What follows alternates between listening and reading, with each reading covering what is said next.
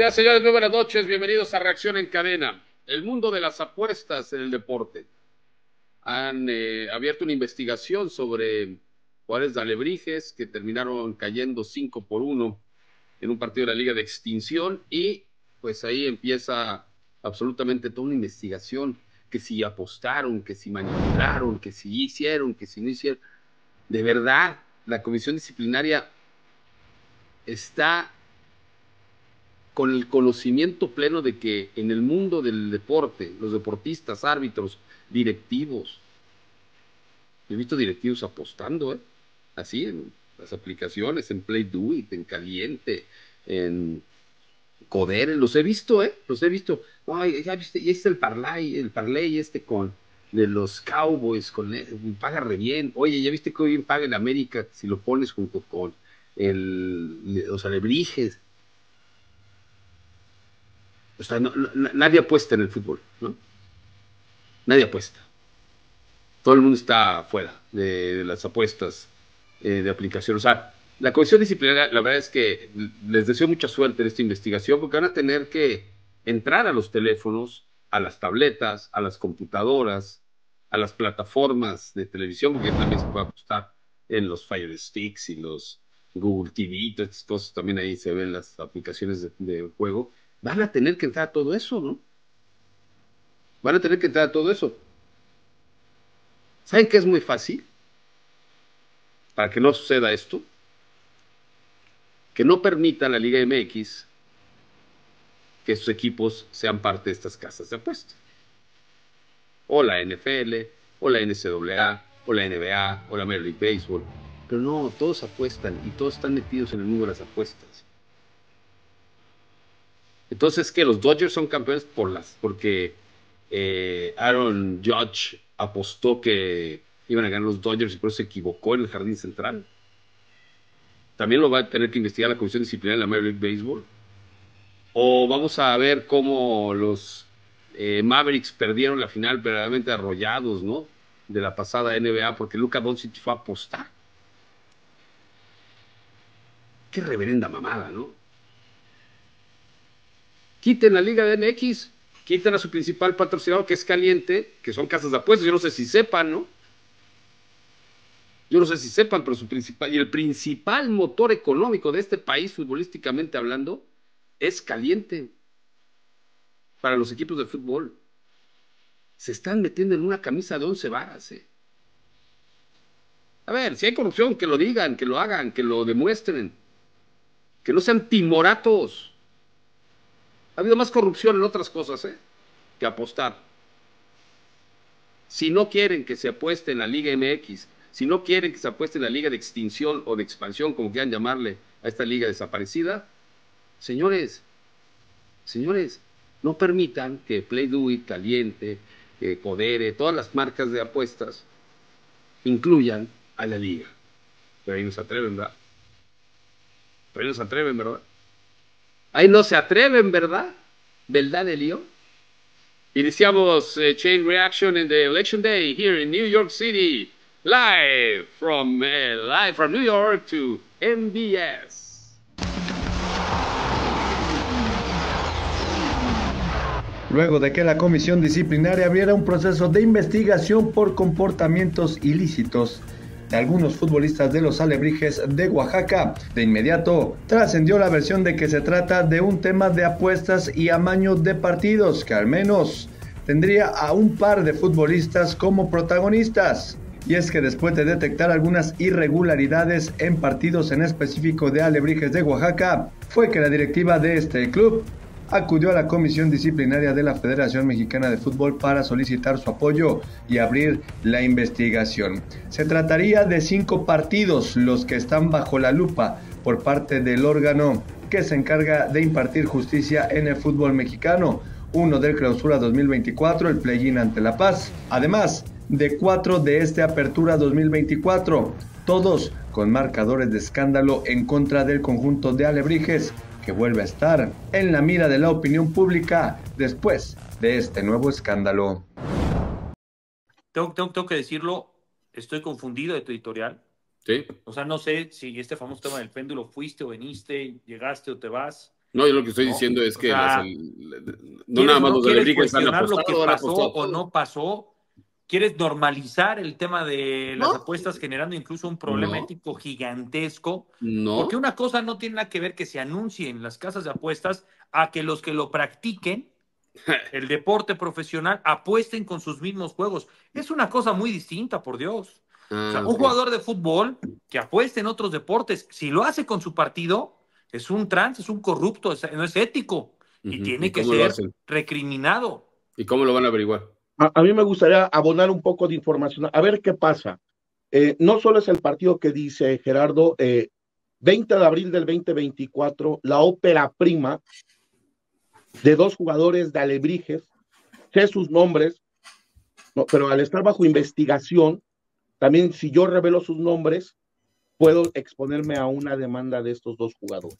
Son dos jugadores, el partido Club Atlético La Paz frente a Alebrijes del play-in es el primer partido que se puso en alerta, 20 de abril del 2024. Hay mucha información, por ejemplo, no directamente en el resultado, no, no, no tiene que ver directamente en el resultado, el amaño del partido que se está investigando y los partidos que se están investigando.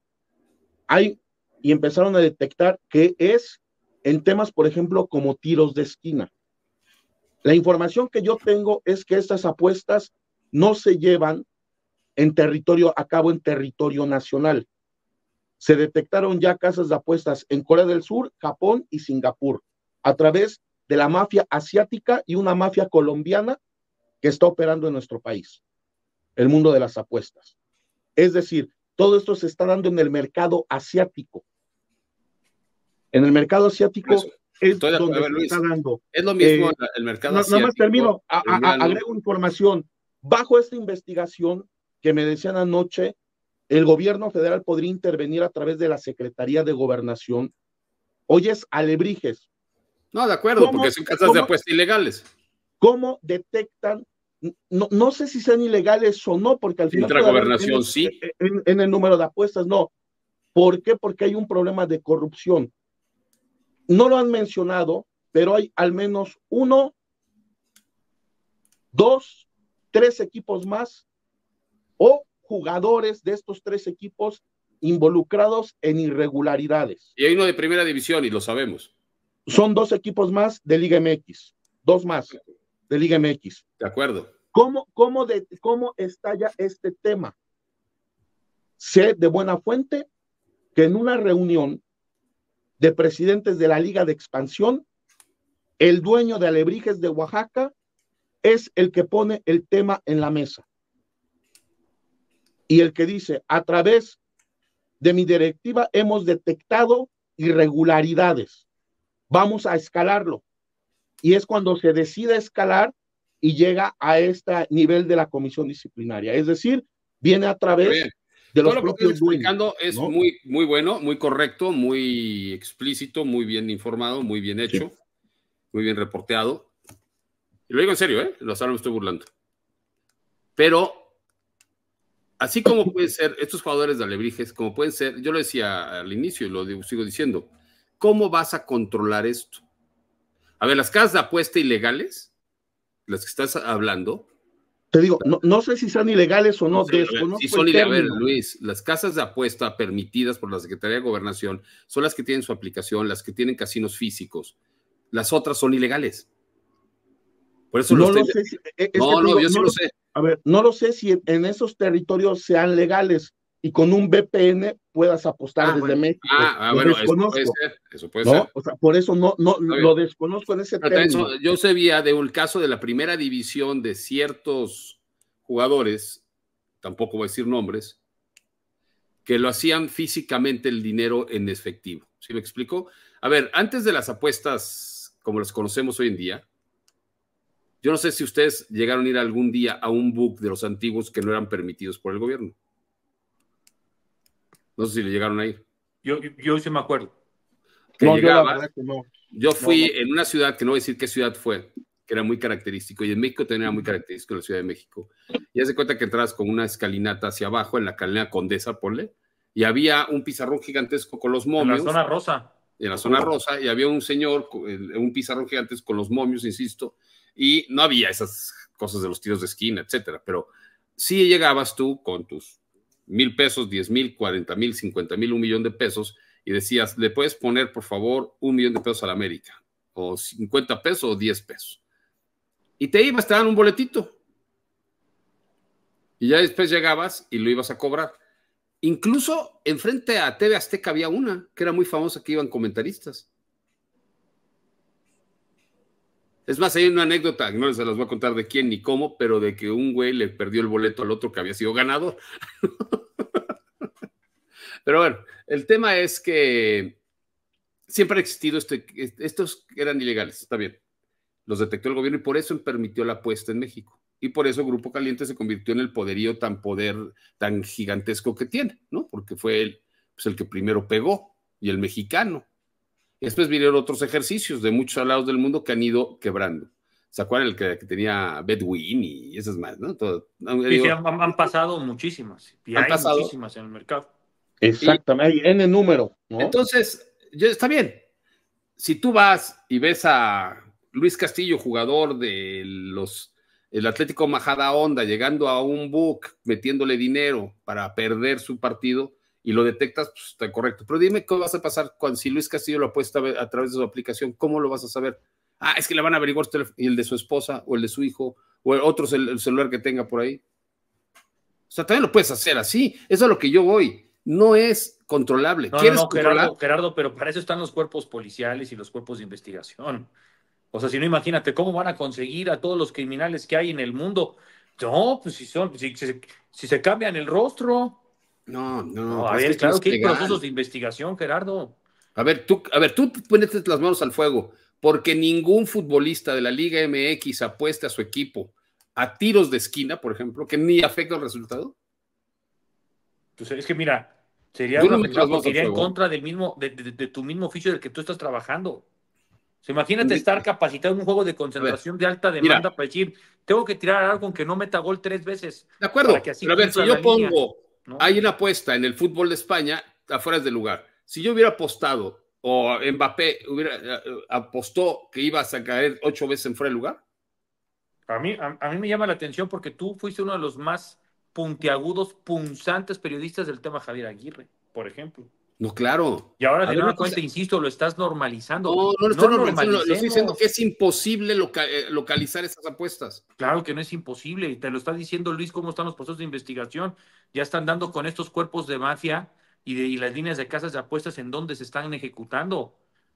¿Por qué crees que llegaron y por qué crees que el tema está en la Vuelvo a lo mismo. Claro que hay líneas de investigación. Meten las manos al fuego. Gerardo, hay el gente, portero Mira, te, voy a poner un ejercicio. te, voy a poner un ejercicio. ¿Sabes cómo caen muchas de las personas a las que tú intuyes, haces una investigación, vas, lo entrevistas directamente, ya sea eh, eh, cuerpos policiales o cuerpos de investigación, y oye, que la esposa ya terminó confesando. Ya cuando llegan ahí tienes, tienes dos oportunidades, empieza a hacer una presión, vas a confesar que apostaste o no apostaste, y la misma persona, a partir del detector de mentiras, en cantidad de mecánicas que hay para resolver este tipo de situaciones, se pueden investigar. O sea, lo que voy es, tú intuyes que siempre vamos a estar en la mecánica de la trampa. Pues claro, por eso hay tremendos estafadores y grandes atracadores en la historia del planeta Tierra. Pero de eso a decir que no se puede seguir, eso ahí, perdón, pero no es cierto. Porque de entrada hay muchísimos temas y muchísimos tópicos o sea, por ejemplo, temas de SAP, tema de doble facturación, tema de todo. Pues claro que te puedes llevar el tema de los Panama Papers. No dejan de ser crímenes, no dejan de ser una estafa, no deja de ser algo que no es éticamente correcto. Y hay de investigación. Pero es que yo no estoy haciendo una valoración ética, yo lo único que estoy diciendo es, el jugador de Atlético Majada Onda, con su aplicación puede apostar el portero por medio de su tío, en un teléfono de su tío, ¿sabes qué? Vamos a métele a. Qué bueno que lo dices. Qué bueno que lo dices. Imagínate un partido que no suele tener esa cantidad de tiros de esquina. Lo revisan, se dio esa cantidad porque alguien lo cobró y resulta que esta persona es tío del jugador. Claro que hay una correlación y inicia la investigación. Eh, eh, eh, es que, pues eso que, buena suerte a la comisión disciplinaria. Nada más. Y es que no es solo la comisión disciplinaria. Si el FBI no ha podido dar todavía con los de la FIFA Gate algunos, la Ley Federal de Juegos y Sorteos dice que es la Secretaría de Gobernación. La que regula esto. La que reglamenta, autoriza, controla y vigila los juegos cuando en ellos se medían apuestas de cualquier clase. Entonces, En el, e, ese es el marco jurídico. Hay un marco jurídico permitido en nuestro país, ¿no? A, partir de ahí, entonces es, hoy, hoy el fútbol mexicano no está hablando de un supuesto, de un acto de fe. ¿Qué pasaría si el portero de tal equipo o el defensa no? Hay, hay hechos, hay hechos consumados que a partir de ahí, e, es decir, eh, y también no podemos generalizar, es como si decimos que todos los periodistas somos corruptos o no somos corruptos, hay de, hay de todos niveles. Aquí hay hechos que se están investigando y que ojalá, la, y, y que aquí no solo es la comisión disciplinaria, le toca a la Secretaría de Gobernación entrarle a fondo ante esta denuncia que se da. De acuerdo. De ponerlo ahí. ¿Quién más? ¿Quién más está involucrado? Hola, hola, ¿cómo están amigos? Qué placer saludarlos desde las instalaciones de Cuapa, desde la casa del flamante bicampeón del fútbol mexicano, las Islas del América, que ya se preparan para enfrentar el partido de la jornada 16 del fútbol mexicano en contra de los Tuzos del Pachuca, un duelo que será diferente para el conjunto azul crema ya que será disputado en el Estadio Cuauhtémoc de Puebla. La verdad es que tampoco nos, voy a subir una nube, eh, creo que hay equipos que han hecho un gran torneo y vaya, no es un equipo, tres, cuatro equipos han hecho torneos espectaculares, eh, que obviamente desde donde ellos lo ven, creo que también son candidatos a, vaya, este torneo a ser campeones. Eh, obviamente nosotros también para eso nos preparamos. Eh, realmente quien opine eso puede ser la gente por lo que hagamos dentro de la cancha. te digo, estos dos partidos son vitales para, para el cierre de torneo. Creo que lo más importante, yo lo veo así, es cómo termina un torneo cada equipo te digo, nosotros hemos estado de muy buena forma ya, ya estos últimos partidos y, obviamente quien nos toque entrar, primero Dios si entramos directo, pues obviamente vamos a ir con la convicción de ganar, de pasar directo, de ganar los dos juegos. Cerrarán en el infierno, en el estadio Nemesio 10 contra el conjunto del Toluca el próximo fin de semana. Dos duelos vitales para el América donde necesitan sacar la victoria y así seguir con sus aspiraciones de meterse de manera directa a la liguilla y pelear por ese ansiado tricampeonato del fútbol mexicano. Les informó Jesús May desde las instalaciones de Cuapa. Hasta la próxima.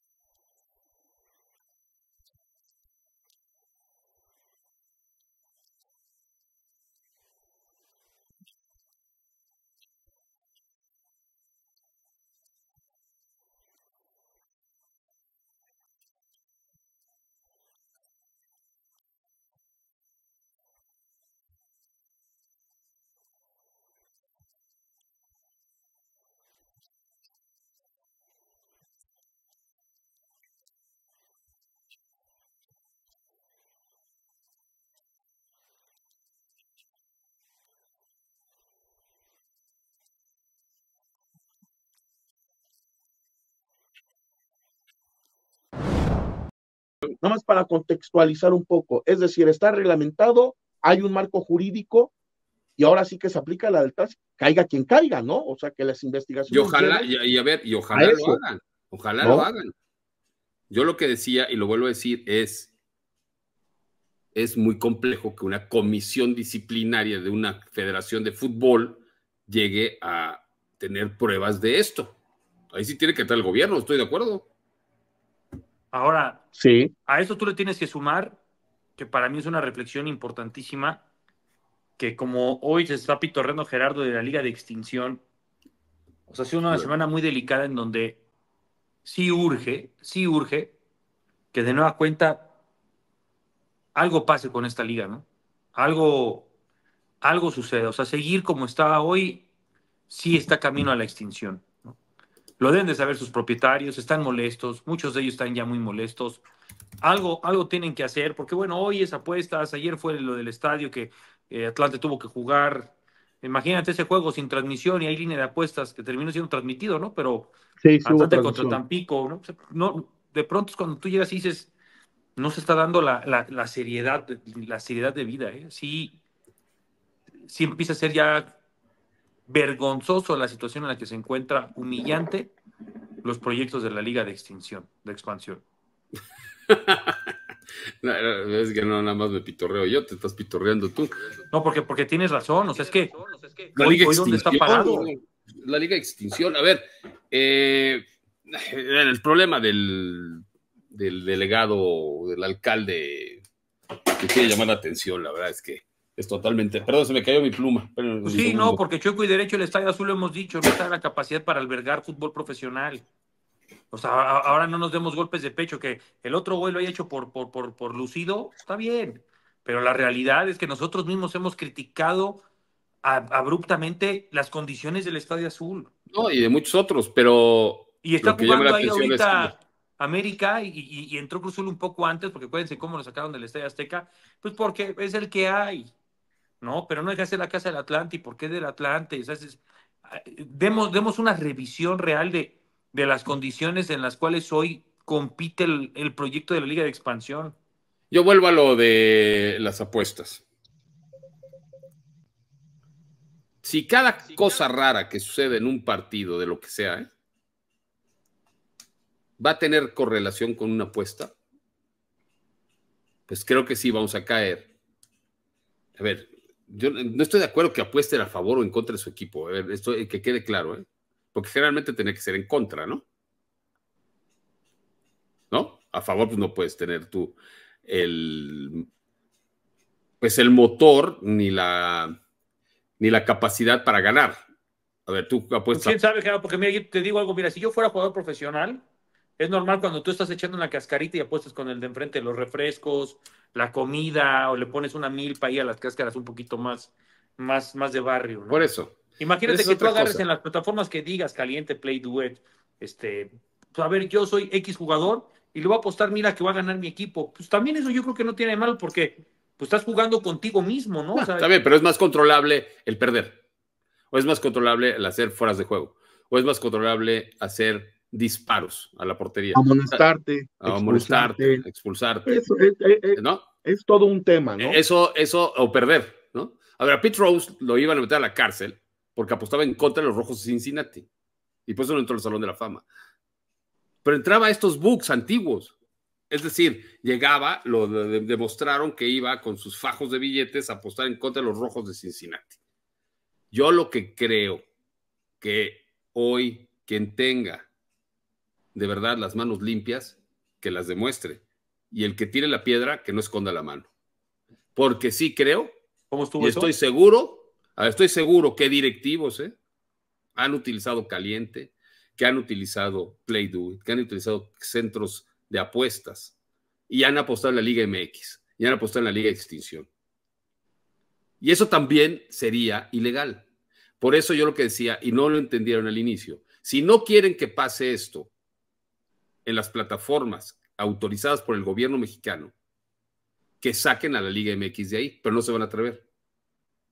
Porque sí lo puedes hacer, ¿eh? O sea, tú puedes decir, mi liga no entra a tu casino. Habría los ilegales, que está diciendo Luis. Los chinos, los eh, japoneses, los tailandeses, ¿no? Que el tema está enfocado a esas apuestas. Ah, bueno, pero eso ya es una, pero ya es, ese es otro tema.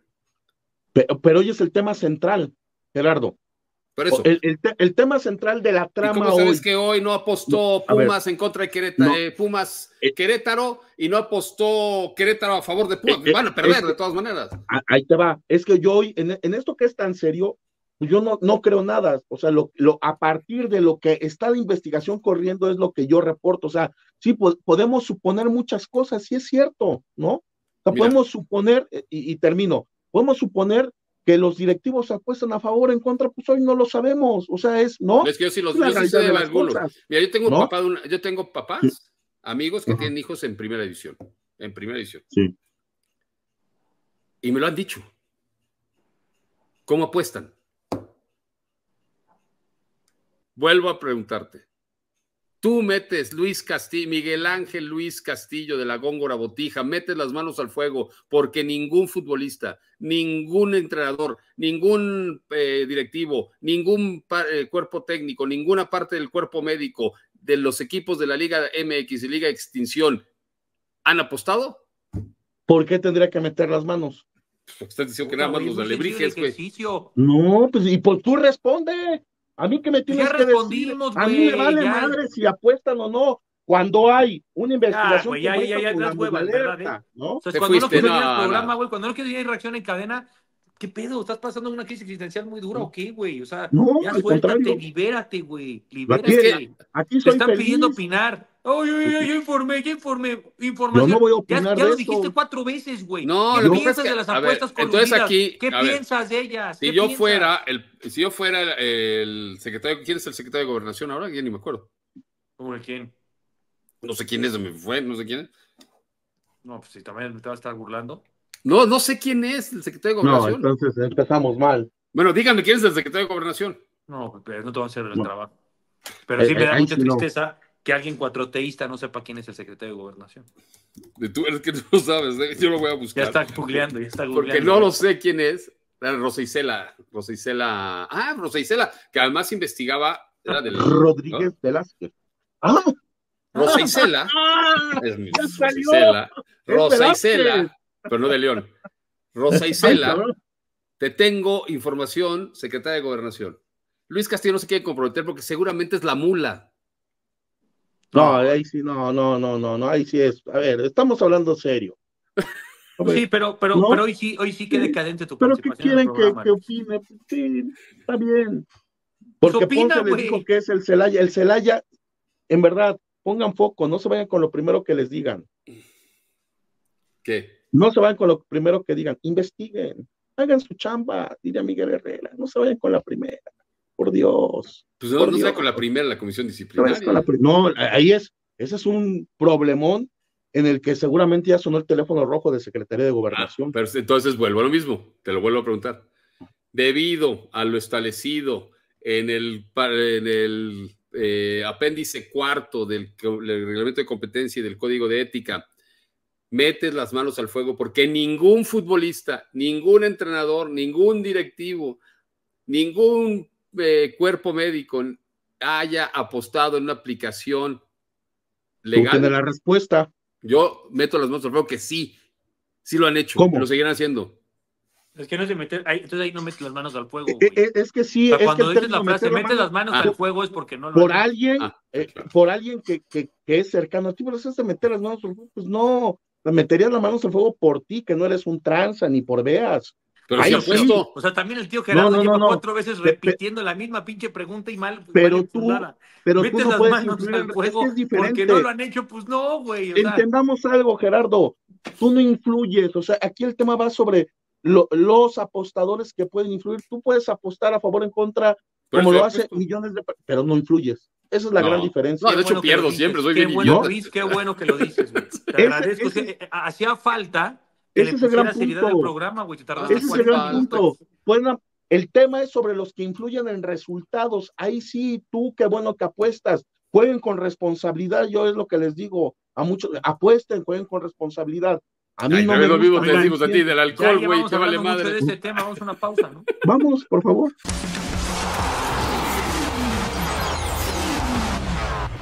Vamos a máximo avance. Ah, no, vamos con la Champions. No. La Champions, de Champions, hoy jugó el Real de Madrid contra el Rosonero, ¿no?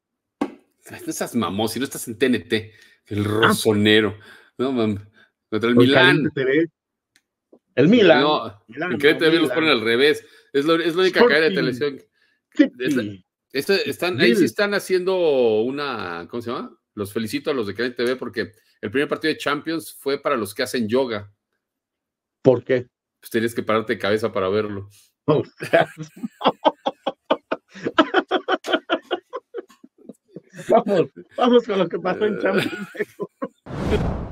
¿Qué tal, qué tal amigos de Reacción en Cadena? Pablo Reséndiz eh, los saluda para hablar acerca de lo que nos ha dejado esta jornada de la UEFA Champions League, porque hubo resultados muy interesantes y muy importantes, comenzando con la tercera derrota consecutiva del Manchester City. Perdió contra el Tottenham en el eh, partido de Copa de la Carabao Cup, pierde también en la Premier League contra el conjunto del Bournemouth, que haciendo un paréntesis, el equipo de Iraola está haciendo las cosas de maravilla. El Bournemouth, que en los últimos tres partidos del eh, campeonato de la Premier League, le pegó al Arsenal, empató contra el Aston Villa y viene de pegarle al conjunto de Pep Guardiola, el Manchester City. Pues bueno, Venía de dos descalabros consecutivos el equipo campeón del fútbol de Inglaterra y hoy consumó el tercero de manera consecutiva cuando visitó la cancha del Sporting de Lisboa. En lo que fue también en la despedida de Rubén Almorín, porque sabemos que será el nuevo estratega del Manchester United. Lo que llama la atención es que Víctor Joker sigue en plan grande. Metió hat-trick Dos goles de penal, uno más de pierna derecha en un gran contragolpe orquestado por el conjunto local. Y por parte del conjunto del Manchester City descontó Phil Foden. Erling Holland falló penal, el disparo se estrelló en el travesaño. Y la noticia que también eh, nos eh, favorece en el fútbol mexicano es que un viejo conocido anotó gol. Maximiliano Araujo le hace gol al Manchester City. Y el Real Madrid cayó en condición de local tres goles por uno ante el conjunto del calcio de la Serie A. Un gran partido de Álvaro Morata que hizo la ley del ex. Vinicius descontó de su manchón de penal, picó la pelota en un auténtico golazo, pero no le alcanzó a los dirigidos por Carleto Ancelotti. La mala noticia para ellos es que ya es su segunda derrota en esta competición de la Champions League. Habían perdido ante el Lille de Francia, hoy perdieron contra el Milan y el siguiente partido es contra el Liverpool en Anfield Road. Tendrán que visitar Inglaterra para meterse a la cancha del equipo del que ya estaremos hablando a continuación. Más resultados, el cuadro de Lille empata uno por uno ante la Juventus de Turín con gol de Jonathan David, para muchos el mejor futbolista de la CONCACAF y por parte de la Juventus empató desde el manchón de penal Dusan Blajovic. Así la actualidad lo que nos dejó esta jornada de la UEFA Champions League. El día de mañana partidos muy pero muy interesantes. El Arsenal se va a meter a la cancha del Inter de Milán, el Paris Saint Germain jugará contra el Atlético de Madrid y el Barcelona buscará también seguir con este buen momento en el mando de Hansi Flick. Así la información de la UEFA Champions League, resultados muy pero muy interesantes. Continuamos con más en Reacción en Cadena. MBS Hub invita. Vuelve el mejor torneo amateur de golf en México. Acron Experience, presentado por Arena Guadalajara. Desde Leaf Golf, campeones del equipo Torque, Joaquín Niman y Carlos Ortiz, junto a Mito Pereira y Sebastián Muñoz. No te quedes fuera de la mejor experiencia de golf para aficionados en México. Más de 6 millones de pesos en premios. 31 de octubre en Guadalajara Atlas Country Club. Acron, estamos en el deporte. Pero si quieres, mañana entramos a la geopolítica estadounidense con mucho gusto. ¿Y va a salir Pedro Fernández diciendo que también hubo fraude? ¿Cómo? Va a salir Pedro Fernández diciendo fraude de Trump, fraude, de Kamala Harris. Pues fraude ya dijo eh, Trump que sí podría decir que hay fraude, ¿no? Si pierde. Y va a decir, ¿sabes que pueden empatar?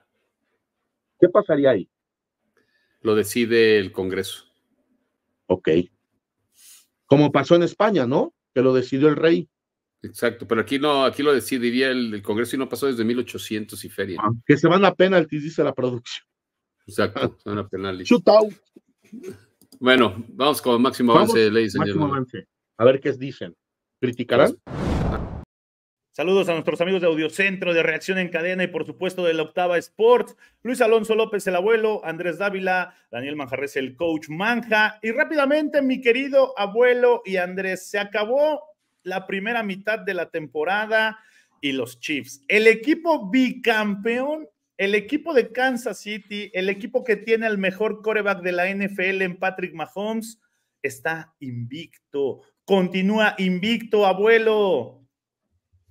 Sí, creo que, creo que permanece invicto. El nivel ha mejorado. Se vio el impacto del trade que hicieron por DeAndre Hopkins en este partido. Creo que estuvo mucho más involucrado y es lo que podemos esperar de él. Un veterano probado y que le va a dar una nueva dimensión a, a la ofensiva de los Chiefs pero me parece que siguen invictos porque Tampa Bay así lo permitió. Creo que le faltaron tamaños a Todd Bowles para jugársela en la conversión de dos puntos cuando anotan al final del encuentro del tiempo regular y decide irse al tiempo extra. Ahí es donde pierde la oportunidad de quitarle lo invicto a los Chiefs y viven y son invictos gracias a la falta de determinación de Todd Bowles. Cuando juegas a no perder, por lo regular terminas perdiendo. Pero los Chiefs, mi querido Andrés, parece que juegan con la comida, se las dan a oler a los demás equipos, se las pasan por sus narices y se las quitan al final. ¿Quién va a ser el guapo que le gane a los Chiefs? Eh, para responder directamente a tu pregunta, yo desde hace dos semanas he dicho que para mí Pittsburgh va a ser el equipo que les va a competir porque tiene una defensiva que está de igual a igual o hasta tal vez mejor que, que la de los Chiefs, ¿no? Y, una defensa así se le puede complicar mucho a un ataque que va a estar muy limitado, que está limitado por las lesiones. El problema es que los van a ver hasta la semana 17, si no mal recuerdo. Entonces, para ese momento, pueden ya tener amarrada la. O sea, la- estás diciendo que los Chiefs van a llegar invictos hasta la semana 17. Es que no veo a nadie más. Le sigue Broncos, ¿no? Y yo pensé que Broncos le iba a dar más pelea a Baltimore y los aplastaron. Después de ahí es Bills de visita, pero los Bills, para como se vieron contra mis delfines esta semana, Kansas City les debe ganar sin ningún problema. Entonces, de ahí creo que le viene Chargers, Raiders y luego es Pittsburgh. Entonces, ya es, o sea, ya no hay muchas opciones como para eh, que este equipo pierda, ¿no? Al menos no de lo que se ve sencillo. Eh, para también comentar sobre lo que dice el abuelo de Todd Bowles, lo peor es que le quedaban 27 segundos al partido, si no me recuerdo, cuando anota Tampa. Ya hemos visto que Mahomes en 13 te llega a posición de gol de campo. Entonces, para mí fue ir muy a la segura, eh, más que ir por la victoria. Entonces, yo no lo vi mal, nada más, simple y sencillamente es lo de esta regla que el señor Mahomes tiene una suerte impresionante para ganar un volado, ¿no? Mitad de temporada, abuelo, y obviamente, ya lo decíamos, empiezan a sacar conclusiones.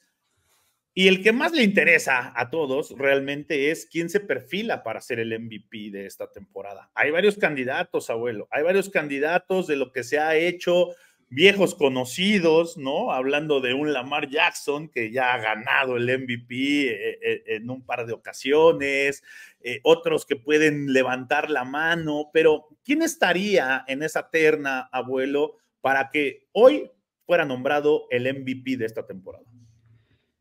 A mí me encantaría que se la dieran a un corredor de balón y Derrick Henry tendría que ser ese, ese elemento. No va a pasar, ojalá ocurriera porque lleva 1052 yardas por la vía terrestre, 11 touchdowns, está rompiendo eh, la liga cuando parecía que era un, jugador quien lo pudiera considerar acabado, me parece que todavía tiene mucho que dar y yo se lo daría a él, pero me parece que los candidatos más serios van a ser los corebacks y está entre Lamar Jackson, también creo que debe estar Jared Goff. ¿Y dónde dejas a Dak? ¿No? No está en esa terna. En el hospital, en la lista Juan Mahomes, el de... quarterback que sigue invicto, ¿no? Oye, esta conversación de, de- de- ya la hemos tenido en otros años, ¿no? Y el más reciente, eh, abuelo Andrés con Christian McCaffrey, ¿no? De que el corredor merece ser nombrado MVP, pero sabemos que es muy difícil. Andrés, ¿quién podría ser hoy nombrado MVP pensando en cómo se maneja la liga? eh? Claro, claro. Eh, yo lo único que diría sobre eso de Christian McCaffrey, eh, no tenía tan buenos números como Derrick Henry este año. Derrick Henry ya superó las mil yardas y es la semana nueve. O sea, es una auténtica barbaridad lo que, lo que está haciendo. Si quieres un par de datos que yo creo que es para solidificar a Derrick Henry como serio candidato, es primero en yardas por tierra, touchdowns por tierra, tiene la carrera más ga- larga de la temporada, eh, carreras para primero y down, eh, yardas totales y touchdowns totales. O sea, él, él llegó a Baltimore y se convirtió en lo que a mi entender es el nuevo rey. Eh, y creo que a Lamar Jackson le puede pesar que viene él de ganar el MVP, ¿no? Entonces creo que puede tener ese sesgo los votantes. Eh, si no es este año, si llamamos Derrick Henry sigue en este paso y no es este año, la verdad es que no veo.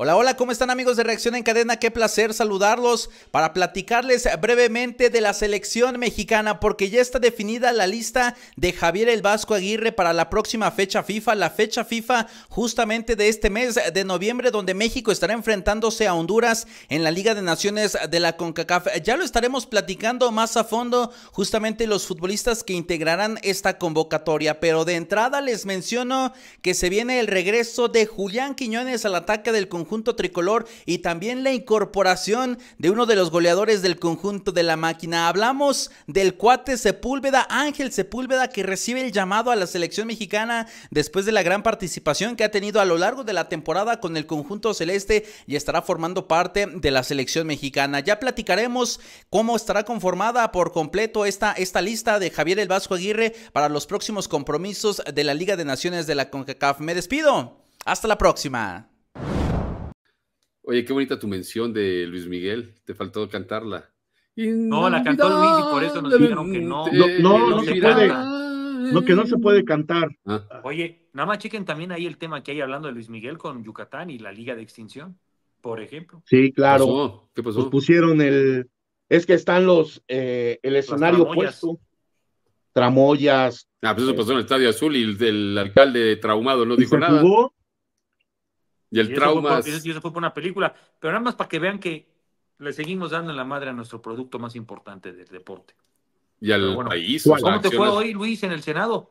Muy bien. Ahí en la reunión con el licenciado Miguel Torruco en la instalación, junto con no, el licenciado Rommel Pacheco también. Ahí estuvimos presentes hoy en la instalación de la Comisión del Deporte de la Cámara de Diputados. Está Anita González también, está Buena también amiga. Paula Longoria, ¿no? Ahí estuvimos hoy en San Lázaro. ¿Por qué creen que vengo a, a- a- a- a nuestra Cámara de Representantes? Hay que ir. Qué bueno que sí, sí, sí. Bueno. Seguir tirando el dinero a lo pendejo en el país, pero bueno. Ahora sí no puedes vemos. quedarse con Pepe Cárdenas porque ya vino el No, ya pasó Pepe Cárdenas. Él dice, quédense con reacción en cadena. Quédese con su chaquetita y a dormir. No, vienen las telecompras. Telecompras.